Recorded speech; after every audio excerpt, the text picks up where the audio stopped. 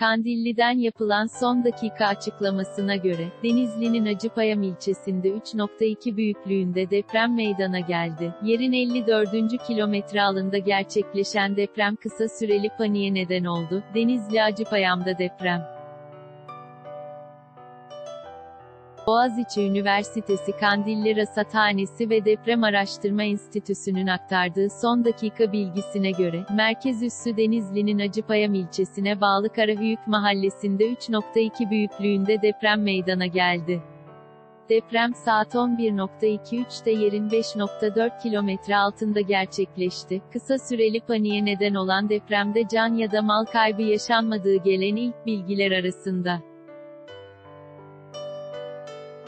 Acıpayam'daki okullara deprem tatili Denizli'nin Acıpayam ilçesinde pazar günü meydana gelen 4,9 büyüklüğündeki depremin ardından artçı sarsıntıların devam etmesi nedeniyle eğitime iki gün ara verildiği bildirildi.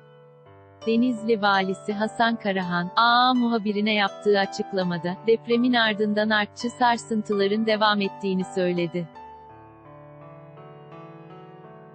İlçedeki okulların yarın ve çarşamba günü tatil edildiğini belirten Karahan, Acıpayam'daki çocuklarımızın depremden psikolojik olarak etkilenmemesi için okulları tatil etme kararı aldık. Salı ve çarşamba günü dinlenecekler. Depremzede çocuklarımıza ve ailelerine yönelik psikososyal destek veriliyor, dedi. İlçede pazar günü saat 14.30'da meydana gelen depremin ardından, büyüklüğü 1 ve üzerinde birçok artçı sarsıntının yaşandığını belirten Karahan, şu ana kadar çok şükür bir olumsuzluk yaşanmadı.